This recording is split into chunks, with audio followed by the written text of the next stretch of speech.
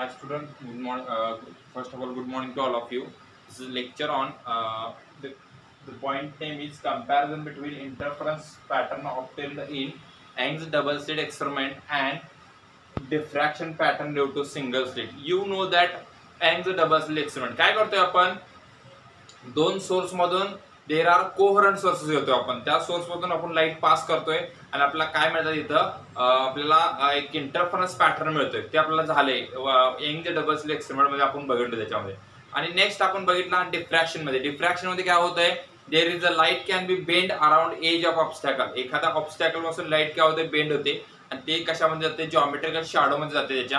आणि त्याच्यामुळे काय होतं डिफ्रॅक्शन पॅटर्न मिळतो आपल्याला. देर इज अ सेंट्रल आपल्याला काय मिळेल? एक हायर इंटेन्सिटी पॉईंट मिळेल आणि त्याच्यानंतर आपल्याला एक स्मॉल इंटेन्सिटी कमी कमी मिळतील आपल्याला. असं आपल्याला मिळतात. ते आपलं आपण बघितलोय.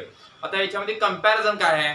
वाय डी एस इंटरफरन्स पॅटर्नमध्ये आणि डिफ्रॅक्शन पॅटर्नमध्ये कंपॅरिझन काय आहे? ते आता आपण बघणार आहोत. Now here we are discussing the comparison between interference of Y D S C experiment and diffraction in single slit.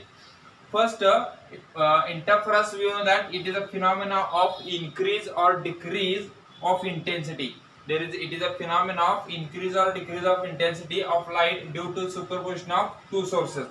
Here we are discussing there is a superposition of two waves coming. There is they found there is a maximum intensity called as bright point or minimum intensity called as a dark point. There is a constructive and destructive interference occur in interference pattern. So here diffraction there is a the bending of light. Diffraction means there is bending of light around the around the corners or edge of an obstacle and enter in geometrical shadow. काय होतंय एखाद्या त्या light काय होते याच्यामध्ये bend होते आणि त्याच्यामुळे काय होतं ती सावलीमध्ये त्याच्यावर काय जाते लाइट जाते त्याच्यामुळे आपल्याला पॅटर्न मिळतो इथं दोन एक फर्स्ट पॉईंट क्लिअर झाला का बघा दोन्हीमध्ये next dark and bright bands are alternative space मध्ये काय होतंय?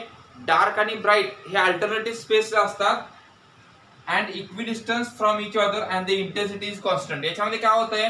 तुम्हाला हा जर आपण कन्सिडर केला हा पॅटर्न कन्सिडर केला आणि याच्यामध्ये काय होत असतं आपल्याला? अशी जर बँड मिळत असेल आपल्याला. This is a bright point this is dark point this is this is dark point this is bright point this is dark band this is bright band. आपल्याला जे कंटिन्युअस बँड मिळतात. म्हणजे काय? एक ब्राईट एक डार्क. एक bright एक dark. अशी कंटिन्युअस आपल्याला वेव्ह फॉर्म मिळते आपल्याला. कंटिन्युअस वेव्ह फॉर्म मिळते. त्याच्यामध्ये काय होतात? Alternative space and having intensity पण काय असते इथं? अँड इंटेन्सिटी इज कॉन्स्टंट याच्यामध्ये इंटेन्सिटी काय असते? कॉन्स्टंट असते. ब्राईट डार्क ब्राईट डार्क याच्यामध्ये प्रत्येक ब्राईट घेतला तुम्ही. याची इंटेन्सिटी काय असेल तिथं? कॉन्स्टंट असेल. समजते याच्यामध्ये याच्या याच्यामधला हा पॉईंट क्लिअर झाला का बघा सर्वांना? Dark and bright bands are alternative space and equidistance from each other and intensity is a constant now here in diffraction pattern intensity of light of the centre याच्यामध्ये काय होतंय? याच्यामध्ये काय होतंय बघा? Intensity of the light at the centre is maximum आणि त्याच्यानंतर काय होतं इंटेन्सिटी आपली मिनिमम होत जात्या त्याच्यानंतर इंटेन्सिटी आपली काय होत्या मिनिमम होत जात्या सेंटर uh, काय असेल? Central maximum this is central maximum intensity of light at the center maximum called as uh, called as center maxima. Called as center maxima and surrounded by the secondary maxima and secondary minima म्हणजे हे काय झाले माझे? Secondary Maxima secondary minima मग हे third third third maxima third minima आपला continue मिळत येतं समजलंय? This is a highest maximum point म्हणजे याच्यामध्ये काय होते? इंटेन्सिटी डिफ्रॅक्शन पॅटर्नमध्ये काय होते? सेंटरला जास्त मिळते नंतर इंटेन्सिटी कमी कमी होते. तसं इथं होत नाही. इथे इंटेन्सिटीचा एक कॉन्स्टंट रेशियो मिळतो आपल्याला. ओके पॉईंट क्लिअर झाला इथंपर्यंत?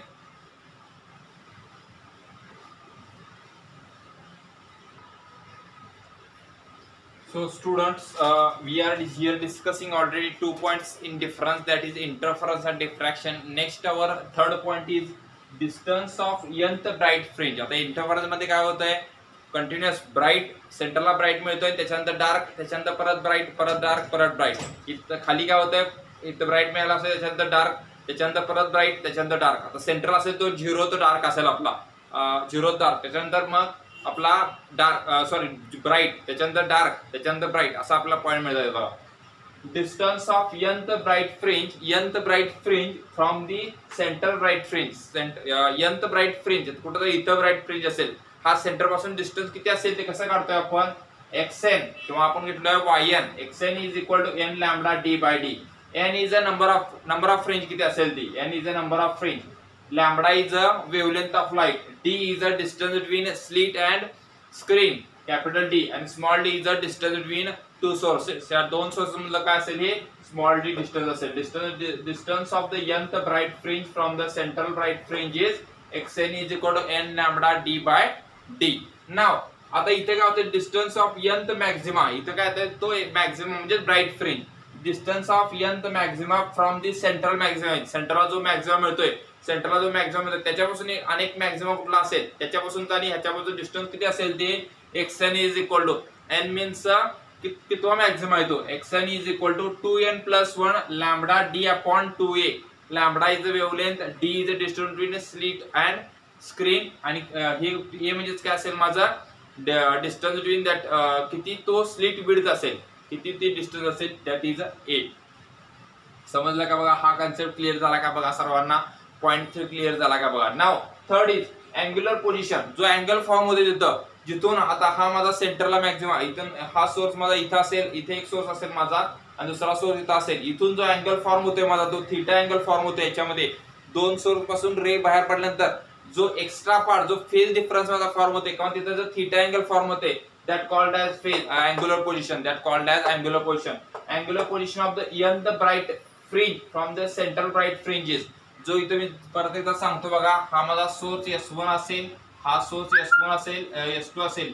इथं जो अँगल फॉर्म होतोय हा असा पडल्यानंतर हा असा पडल्यानंतर हा जो एक्स्ट्रा हा जो एक्स्ट्रा पाथ कव्हर करतोय दॅट कॉल्ड ॲज थिटा हा जो एक्स्ट्रा पास कव्हर करतो that is called as theta so angular position of nth the bright fringe from the central bright fringe आता इथं जर ब्राईट ब्राईट पॉईंट मिळत असेल माझा आणि इथं माझा सेंटरला ब्राईट पॉईंट मिळाला तर याच्यामध्ये डिस्टन्स किंवा जो अँगल असेल माझा तो थिटा असेल from the centre bright fringe theta किती पाहिजे? Theta n is equal to n lambda upon D n lambda upon D now here same angular position of the n the bright fringe from the centre maxima is from from the central maxima is theta is equal to 2n plus 1 lambda upon 2a lambda upon 2a change काय change दिसतोय का बघा तुम्हाला याच्यामध्ये?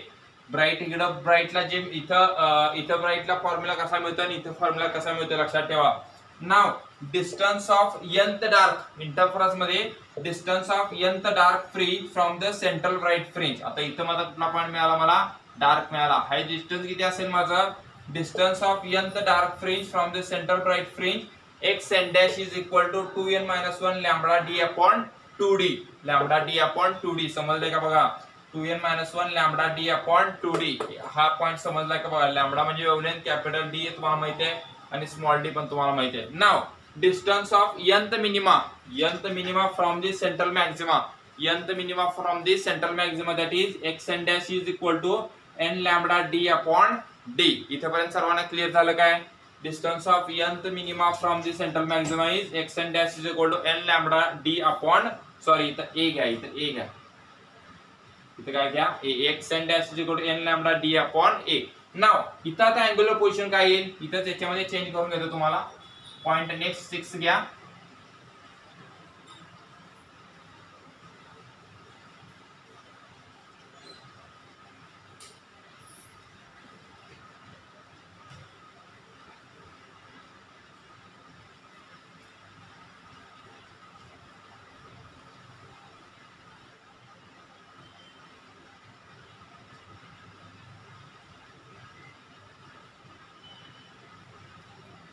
it is a six point six point काय बघा? Six point angular position of nth bright fringe angular position of nth bright fringe sorry angular position of nth dark fringe nth dark fringe from the central bright fringe is equal to theta N is equal to theta N is equal to काय येईल बघा? Two N minus one lambda lambda upon D. Two N minus one lambda upon D. Next angular position from the nth dark आता इथं काय येईल तुमचं? Nth dark fringe from the central maxima काय येणार आता इथं? N lambda upon A. N lambda upon A. N lambda upon A. Concept clear झाली का बघा? Angular position of N the dark fringe from the central maxima is N lambda upon A आणि इथं काय आहे तुमचा? Angular position of N the dark fringe from the central bright fringe is equal to two N minus one lambda upon D concept सर्वांना clear झाली? Okay इथं point आपला हा डिफरन्स याच्यामध्ये कव्हर होतोय. Okay thank you all of you